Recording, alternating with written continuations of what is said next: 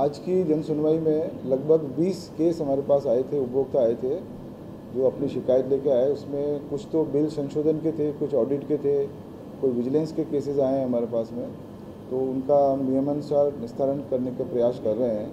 कुछ नए कनेक्शंस के लिए आए थे, उनको हाथों हाथ कनेक्शन जारी कर दिए गए हैं।